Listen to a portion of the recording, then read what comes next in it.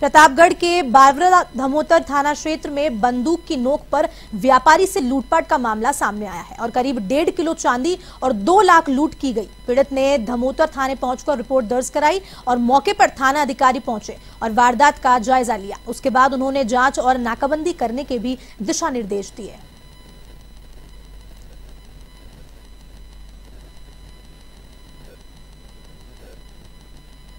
बारामर्दा चौराहे से उतरकर बारामर्दा जाने के लिए खड़े थे एक अनजान बाइक वाला जिसने अपना मुँह बाँध रखा था,